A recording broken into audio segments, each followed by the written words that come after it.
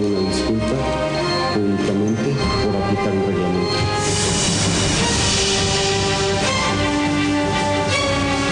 En un ejercicio de congruencia, he decidido hacerme un lado de la dirección de selecciones nacionales. Día de rumores y especulaciones.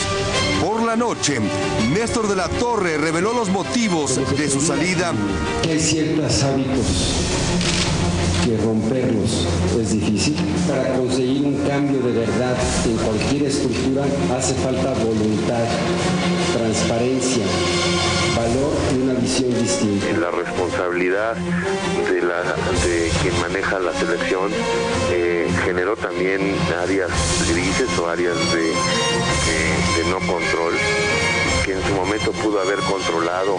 El rompimiento, consecuencia de los problemas generados por la fiesta de los seleccionados hace más de un mes en Monterrey, tras vencer a Colombia. No estoy dispuesto a aceptar que condicionen a una selección para poder ir a jugar.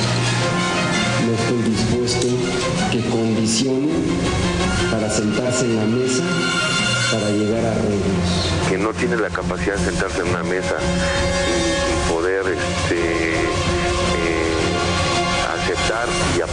eso construir es, es igual a aquel que, que ve el árbol y no quiere ver el bosque.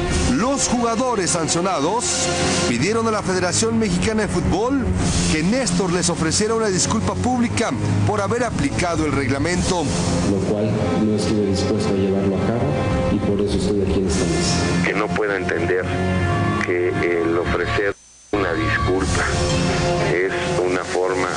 paso adelante, pues también está generando o cometiendo un error.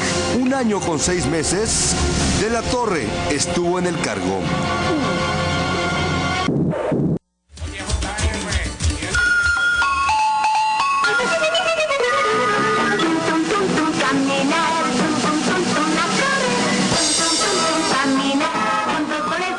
Estos son los 10 pecados que comentó, que cometió Néstor de la Torre. Y aquí se los presentamos en pura pasión. El número uno, eh, una larga concentración previa al Mundial, es lo que se quejaban los seleccionados. El número dos, la fiesta previa al Mundial. El número tres, el no tener un técnico nacional para el tricolor después de lo que sucede eh, del Mundial. Su actitud soberbia, esto según eh, los seleccionados.